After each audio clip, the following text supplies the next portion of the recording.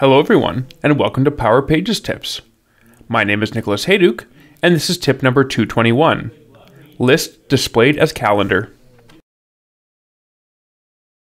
Normally, when you create a list in Power Pages, you see a table with columns based on the view that you've defined.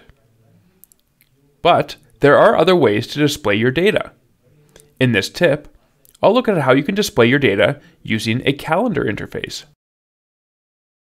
Enabling the calendar functionality is done via the Portal Management app. Open your list and go to the Calendar View tab.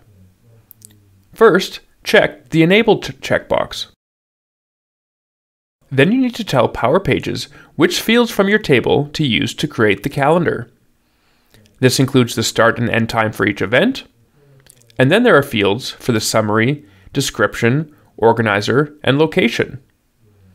There's also a field if you want to be able to mark events as all day. The settings area lets you control which view to default to year, month, week, or day. You can also pick which date the calendar goes to by default. If you leave it blank, it will default to the current date. You can also control which time zone is used to display the events, either the user's local time zone, or you can pick a specific time zone. Finally, you can pick if the calendar displays either as a full width calendar or with a list on the side.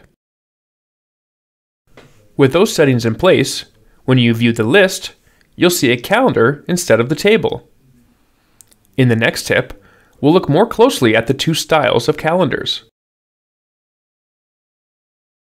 Thanks for watching, and I hope you found the Power Pages tip number 221 on lists displayed as calendar useful.